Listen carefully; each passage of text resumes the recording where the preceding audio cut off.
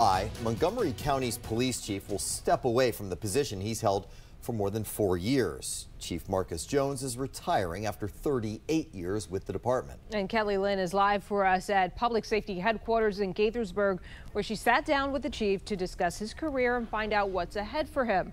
So, Kellye, what did he have to say?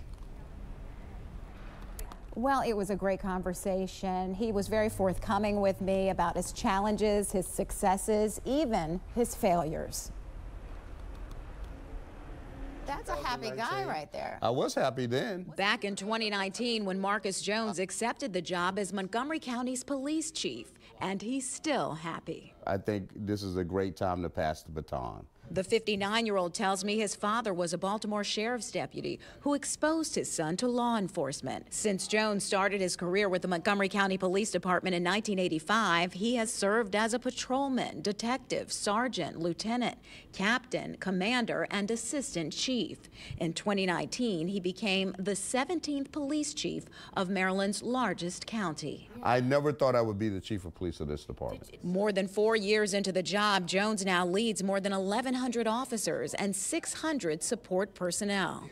What would you identify as your biggest accomplishment as police chief? Guiding this police department through challenging times. Such as? Such as uh, police reform, right? With uh, all of what occurred after George Floyd, um, a lot of changes within, um, you know, within the laws here in the state of Maryland. Would you be honest and identify any failures? The most disappointing thing for me has been my failure to be able to really recruit new officers and get them in the door. Today, MCPD lacks 150 officers, a staffing shortage Jones says he'll continue to address until his retirement takes effect on July 1st.